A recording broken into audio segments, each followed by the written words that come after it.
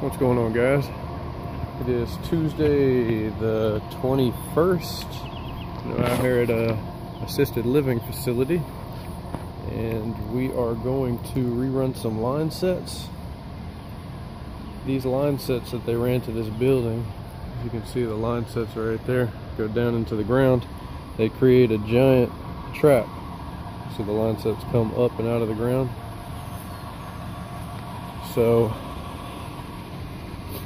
we are going to take the refrigerant out of the system, cut those lines, rerun them, and run them up on here and over. They were supposed to build this all the way to the end, so I'm not really sure what we're going to do with that. We'll walk down and see because we're going to do this to most of these units out here. There's a couple bad fan motors over here that you'll hear scream as I get closer if you can't hear them already. Um, these are a bunch of Daikin ductless systems. A couple of them are ducted models inside, air handlers, and most of them are, are ductless. But you can see some of the line sets have been cut and removed, and some other company had already ran them up and over. So, for whatever reason, they didn't do the rest of them. So that's what we're going to do. But they were supposed to extend these the same way over there, so I'm not sure if they're not finished building that one or what. But we just got here on the job, so we will uh, wait for the other guys to get here and then we'll get started. But this is what we're looking at. And also the same thing down here. See, I'm thinking they didn't finish building that one. It didn't really use much of a level either, but hey. It is what it is, I guess. So, but same deal. Lines go down into the ground and they chase through here and then they go back up through this wall and in. So this has been killing compressors. All of these units.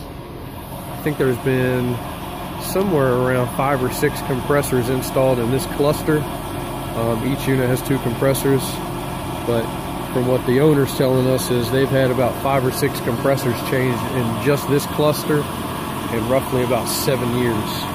So, but we'll go ahead and get started and I'll show you the progress of Just a couple of those burnout compressors.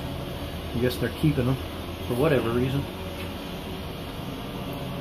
Bad condenser fan motor. That's from uh, one of the AAON units, I believe. No, no, that's from one of the Daikins. Zoom lock all the way. All right, day one's ended.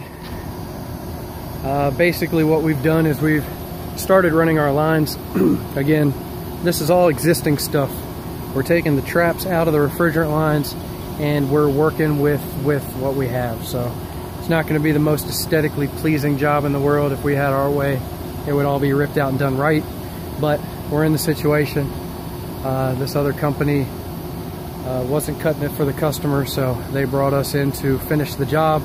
So we're going to do it and make it as cost effective to the customer as we can. So basically what we're doing is we haven't shut down any of these back three units. These are the ones that we're rerunning the line sets.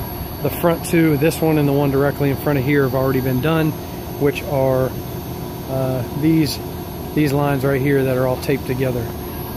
But basically what we're doing right now is we're getting all our refrigerant lines ran around to each unit and then once we have them there then we're going to start shutting down covering refrigerant, tying in lines, evacuating, just to keep the downtime on the systems uh, to a minimum. Just because this is a uh, assisted living home, so we want to keep them as comfortable as possible inside for as long as we can. Today being about 85 degrees wasn't a great day to have any of these units down, so that's what we decided to do. But again, we're working with what we got. Um, again, we got the unistrut in different places that we're going to anchor down refrigerant lines, secure everything so they're not flipping flopping around. Just trying to make it as as secure and aesthetically pleasing as we as we can. Again, we're going to have all the lines strapped down here. We're not doing anything with their little cluster back there. That's how they decided to do it, so that's how they did it. But that's not how we do it, so we'll do ours right. but you can hopefully see, I can't see my screen because it's sunny as hell out here but we got them uh, Got everything clamped and secured up there. We are using zoom locks. You might be able to see up there. But we've had great success with Zoom Lock. Um, it's a great product.